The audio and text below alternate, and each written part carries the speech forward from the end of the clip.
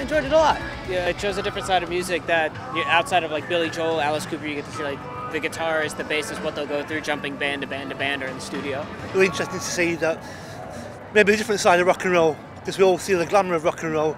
We don't see some of the the bad things or maybe the things underneath that go off. And it was fascinating. So you know, really highlighted part of the industry you don't actually see. Well, these are characters from my youth in my 20s and I knew nothing about this. I am not heavy metal or rock chick and yet their, um, their personalities shone through. I didn't ever imagine that people would be talking about their spirituality or their family values because to me rock was quite a sort of you know, strange hard man kind of thing and yet their persona, their clothes, their values were quite inspiring.